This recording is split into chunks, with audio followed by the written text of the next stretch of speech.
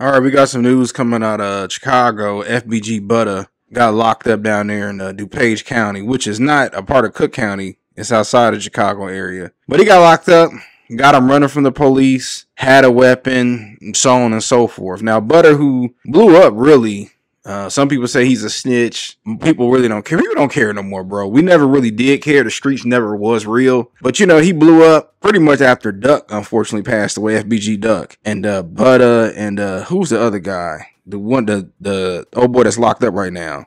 Lil Jay, Lil Jay, him and Lil Jay was going back and forth on it was a DJ Huey uh, podcast or whatever. So like he's been known, you know, Lil Jay said he snitched and he but he blew FBG Butta name up. Butta then did multiple interviews with Vlad. Um, what's that? Adam 22, DJ Huey. A lot of people like but They think he's funny, you know, whatever. But did he did he really blow his 15 minutes of fame? What I do know, being uh, born and majority majority raised in the state of Illinois, they gonna keep hitting you on the wrist, and after a while they gonna throw the book at you. You know what I'm saying? He might be able to get out, but uh, he's supposed to be. He got a trial coming up, and you got hit with more charges in the state of Illinois, and you had a firearm allegedly when you already didn't did time and you wasn't supposed to have it. You know, I, I think his fifteen might, his fifteen minutes might be up. I think people don't realize that, man. When you get the spotlight on you, it's only for a certain amount of time.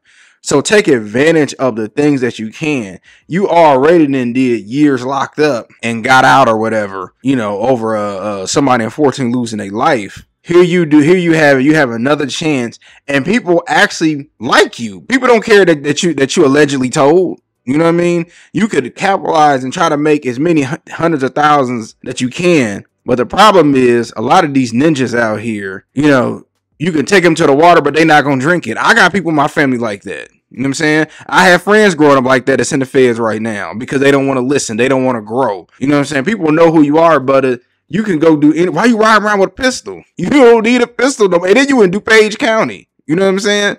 So but that's the problem with a lot of these people, man. You gotta move, you gotta grow. And some of these people, man, you can give them chance after chance after chance. I grew up with so many athletes that could have either went uh, to the NFL no later than D1. And you gave them chance after chance after chance, and they always blow it, man.